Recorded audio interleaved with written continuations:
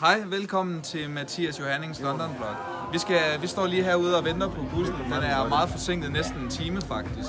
Så det er jo fedt, så vi når nok ikke færgen, og så kommer vi ikke til London, og så må vi aflyse turen og bloggen.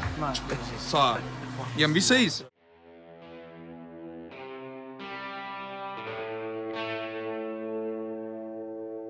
Ja, nu er bussen kommet, vi er lige på vores bagage ind. Jeg må blive Øh, og nu skal vi op og sidde i bussen. Vi sidder i 18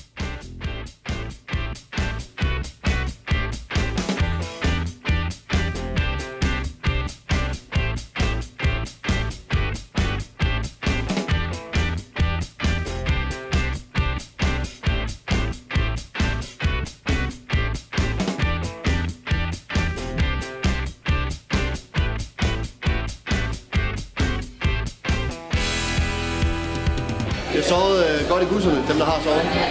Og øh, eleverne er friske nu på morgenmad. Det kører. På morgenmad, det kører. Første dag i London. Ja, Øh, hvordan gik det, piger? Var det, var det sjovt? det var hårdt. Det var hårdt. Det regnede. Vi kunne, jeg var ved over for det regnede, regnede. Men vi gik aldrig forkert. Det gik ikke? Ej, det var sejt.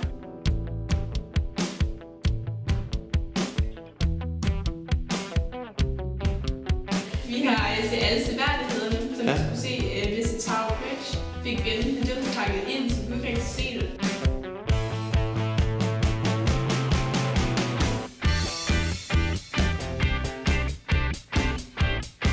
I lærte simpelthen at bevæge jer rundt i, i London? Ja, det gjorde Sådan. helt sikkert. Sådan. Det var sjovt at prøve. Fedt.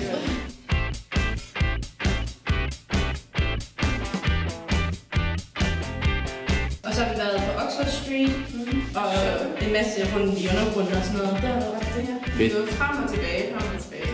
Er I træt? Ja, Ja.